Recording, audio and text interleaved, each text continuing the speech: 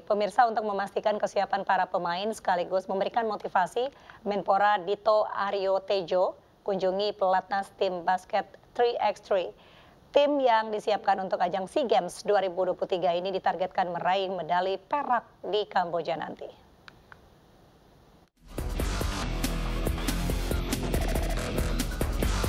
Menteri Pemuda dan Olahraga Dito Aryo Tejo selasa pagi mengunjungi GBK Arena, tempat pemusatan latihan tahap 1 tim basket 3x3 yang disiapkan untuk ajang SEA Games 2023 di Kamboja.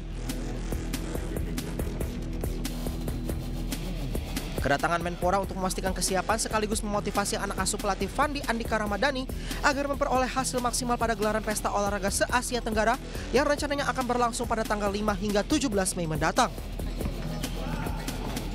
Pada tahap satu ini ada 9 pemain yang mengikuti pelatnas dan rencananya akan ada seleksi lanjutan usai Hari Raya Idul Fitri serta uji coba dengan beberapa klub di tanah air sebelum terbang ke Kamboja. Alhamdulillah dari kau dari Perbasi targetnya apa? Ketum? Dari Perak. Medali perak. Tapi ya kita berdoa terus biar dari perak jadi emas. Ya. Tapi targetnya medali perak. Jadi saya harap ini yang penting 3x3 ini nanti menjadi apa ya pemanasan sebelum juga setelah SEA Games ini lanjut di Asian Games. Wah. Persiapannya baru uh, kita sudah berjalan 8 hari dan uh, sampai tanggal 19 sebelum break uh, Lebaran sejauh ini uh, kami mengumumkan 9 pemain yang menurut saya pemain terbaik lah direksi uh, saat ini. Uh, saya harap uh, mereka juga bisa lebih kompak dengan sisa waktu yang ada dan seperti tadi uh, Pak Ketum bilang targetnya perak ya kita berusaha lebih baik dan tadi kata Pak Menpora juga semoga kita bisa dapat hasil yang terbaik ya. Mengingat ketatnya persaingan pada cabang basket 3x3 SEA Games dan tidak ada agenda untuk uji coba dengan tim asing, latihan maksimal terus dilakukan skuad Merah Putih di sisa waktu yang sempit dengan harapan para pemain semakin kompak dan bisa mencapai target yaitu medali perak. Dari Jakarta, Nur Aryadin, iNews melaporkan.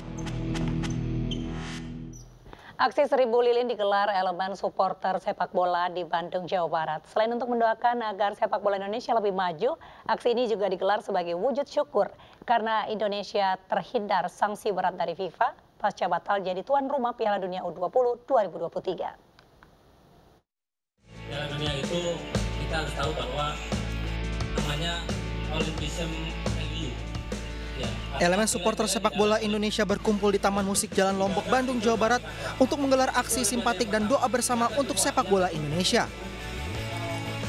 Selain sebagai wujud rasa syukur Indonesia tidak terkena sanksi berat pasca batal menjadi tuan rumah Piala Dunia U20 2023, doa dipanjatkan untuk sepak bola Indonesia yang lebih maju dengan struktur organisasi persepak bolaan yang lebih baik. Aksi menyalakan seribu lilin untuk sepak bola Indonesia juga digelar sebagai simbol dukungan kuat untuk sepak bola Indonesia yang lebih maju. Ini adalah hari apa acara kedua kita setelah sebelumnya di Jakarta. Ini adalah aksi doa kita, syukur kita karena Indonesia terbebas dari sanksi FIFA di badan tema FIFA. Apalagi kan kita sebagai pelaku sepak bola, sebagai supporter tentunya sangat senang sekali ketika sepak bola tidak jadi dibayar artinya ada sepak bola lagi kita bisa bergairah lagi dalam menyaksikan sepak bola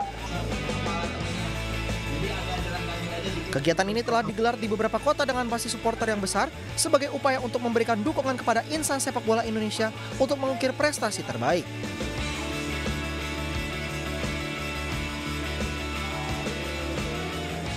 Dari Bandung, Jawa Barat, Muji Prayitno, iNews melaporkan.